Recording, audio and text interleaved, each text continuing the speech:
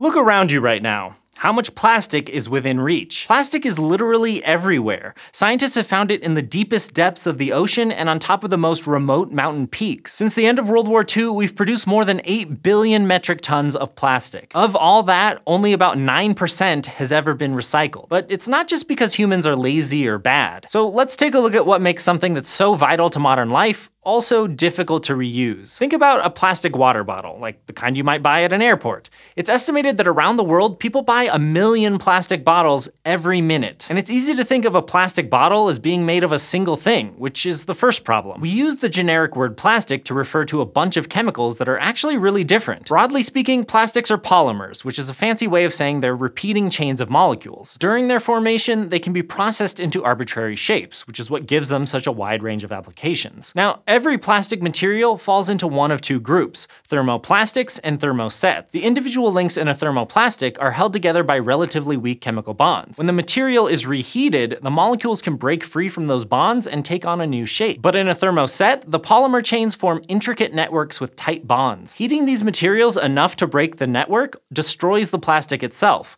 So while thermosets can be very strong, they can be difficult to recycle. There are a lot of different types of thermoplastics in commercial products, but two of the ones most commonly seen in the United States are known as PET and HDPE. PET, or polyethylene terephthalate, is clear, can withstand moderate temperatures, and resists cracking, while HDPE, or high-density polyethylene, can survive more extreme temperatures, but generally lacks the transparency of PET. Both of these plastics are used for ordinary bottles, but the trouble is that not all recycling centers accept both of them, so you need to know what kind of plastic you're tossing out and what types your local recycler accepts in order to dispose of one correctly correctly. Even then, you're probably still doing it wrong, because a single product often combines multiple kinds of plastic. For instance, the twist cap on that bottle made of PET can often be made of polypropylene, yet another type of plastic. And since most of us don't carefully disassemble our trash before getting rid of it, recycling plants need a way to separate all the plastics they receive. And it can be critical for this separation to be nearly perfect.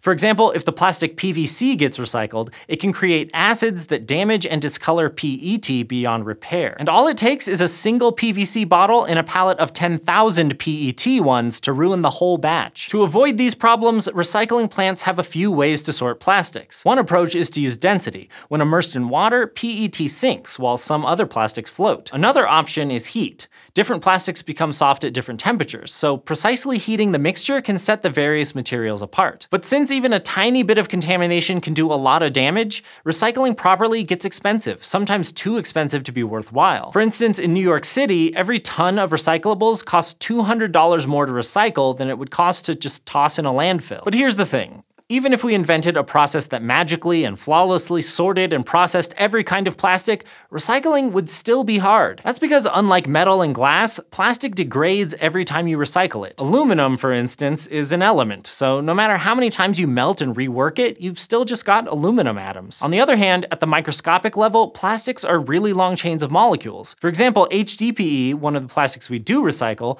can contain up to 100,000 linked ethylene molecules. And every time a plastic is reheated to form transform it into something new, some of those chains break, reducing the quality of the material. To get around this, manufacturers add new plastic to the mixture, so even recycling plastic requires new plastic. Another technique for prolonging the life of plastic is downcycling, which turns the material into increasingly less sophisticated products. Plastic that starts as a water bottle might then be turned into fleece for a jacket, before ending its life as plastic lumber in a deck. Eventually, even that isn't enough, and whatever's left gets burned for energy or thrown into a landfill. So in in a sense, there's no such thing as plastic recycling. Every bit of plastic ever made will eventually end up as waste. And in many cases, it's not possible to do even one round of recycling. And that's a big deal, considering that in 2009, about 4% of all the oil and gas extracted worldwide was turned into plastic, and another 3 or 4% was used to create the energy for that production. Now, people probably aren't going to give up plastic, and there are some good reasons to keep it around. It has huge benefits for health, accessibility, and food safety. But we can be better better about how we use it.